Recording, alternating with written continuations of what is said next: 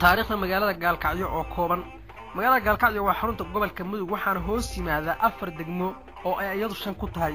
Bilowgii magaalada wuxuu ahaa asaaskeedu qarnigii labaatanaad horraantiisii waxaana xilligaas magaalo ahayd marsada hobiyood oo saldanadii gobolka mudug xarun u ahayd. Hobyo waxay xukuntay isku soo jeedka xarar dheere iyo ceelbuur waxaana gacanta ugu jiray dhammaan gobolka mudug oo saldanadu ay xukuntay muddo konton sano ah. Gaalkacyo waxay ahayd xaruntii dhaqdhaqaaqii gobonnimo doonka hooyadii halgamayaashii soo saari jirtay. Bilowgii magaalada waxaa jiray baahiyo magaalo oo istiraaji ah dhacdana bartamaha waddanka islamarkaana leh ciilal gacmeedyo laga cabo ceelasha magaalada gaalkacyo ku yaallay waxaa qoday oroomadii gaalla iyo boqortooyadii ajuuraan waxaana ka mid ahaa ceelasha ay qodeen ceelka bardacad iyo ceelka barda heeso badan iyo suugaan lagu qaaday. Waxaa jiray biyayari dhulka ka jirtay xilligaas waxaana loo kala aroori jiray ceelal ku kala yaallay masaafooyin dhaadheer ayadoo awrta afarqadlaha ah ayadoo awrta afarqaadlaha ah ay dhixi jireen laba habeen iyo laba maalmood meelaha qaarkood. Gaalkacyo waxay ahayd xarun ku habboon kala gudbinta ganacsiga xarun koonfurta soomaaliya iyo gobollada waqooyi bari iyo galbeedkii soomaaliya. Xilligaas dadka soomaaliyeed gala ganacsigoodu wuu isku furnaa ayadoo awr ganacsiga lagu kala gudbsan jiray shida laami ah iyo baabuur xilligaas ma jirin. Ceelashii meeshaas ku yaallayna lagana cabbi jiray. Waxaa ka mid ahaa ceelkii bardacad ceelka barda dheere ceelka boqwadaadood iyo ceelka halabooqad iyo kuwo kale oo fara badan. Dhulka kale ee cadduunka ah ayaa ceelasha ku yaalla xilligaas. Biyahana laga cabbi jiray. Waxaa ka mid ahaa ceelashii tariiban godod golol dadka xoolo dhaqatada ah waxay u arkayeen in haddii magaalo la soo dhigo gaalkacyo ay markaas ceelal oo markaas ceelal ahayd uu dhulku nabaad guurayo waxayna cabasho u jeediyeen suldaankii hobyood oo faa'iido badan iyo inay ugu jirto bulshada u arkayey in magaaladan meeshan la dhigo magaalo. Abwaan askir isagoo afkaarta shacabka xoolo dhaqatada ah xambaarsan wuxuu yidhi suldaanow gaalkacyo ha naga saarin wuubay noo tahay. Wuxuuna ula jeeday inaan ceelasha gaalkacyood tuulo la dhigin oo meel xudun xoolo dhaqatada u ah ay tahay. Bilowgii gaalkacyo gurigii ugu horreeyey waxaa laga dhisay meesha qalcadda gaalkacyo ka taagan tahay masaajidka alhuda ka soo horjeedkiisa ayadoo ahayd gurigii gobolka sida taariikhda lagu hayo.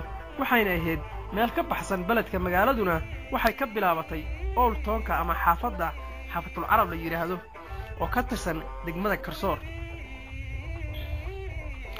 Xuduudkii liniya tomasili dhigay wixii ka dambeeyey dhicitaankii saldanadii hobyood ama majerteniya talyaanigu wuxuu xuduud u kala sameeyey beelihii soomaaliyeed asagoo beelaha majeerteen ka soo kiciyey degmooyinka hobyo xarar dheere iyo ceelbuur kadibna gaalkacyo ugu soo ceshay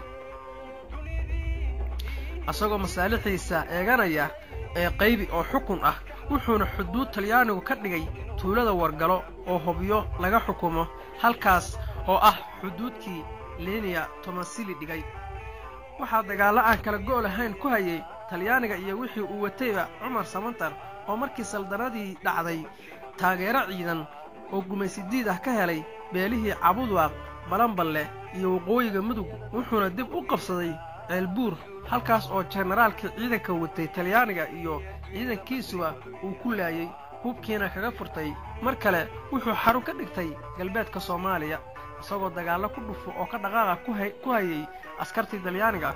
Wuxuuna gacansaar la yeeshay boqorradii adwa waxaana waxayna ka midaysnaayeen la dirirka fashiistaha talyaaniga iyo halgankii xoraynta geeska afrika. Cumar samatar ayaa loogu magacdaray dugsiyada sare ee jigjiga iyo gaalkacayo waa halgamaa taariikh dheer lahaa wuxuuna ahaa ammaanduulihii ciidankii saldanadii hobyood.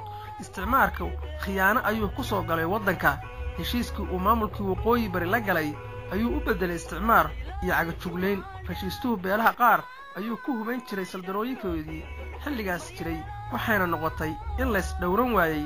Dagaalkaasi wuxuu socday ilaa iyo xorriyaddii s w l.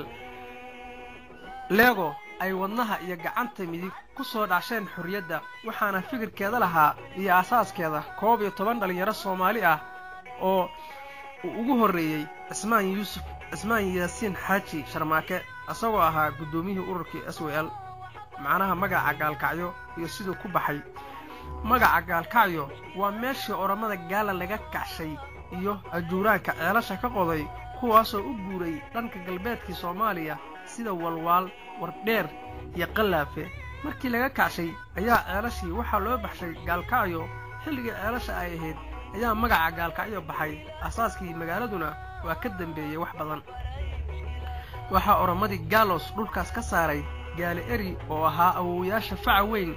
Dadkiisuna uu dhulkaas joogay sida dagaari bandiiradley iyo dawga dawga bulaguduud oo koonfurta gaalkacyo ku yaal ayaa la odhan jiray ruuman reer bicihan waxaana degganaa beeshaas. In kasta oo soomaalidu ay tahay dad reer guura ah oo aan dhul kale lahayn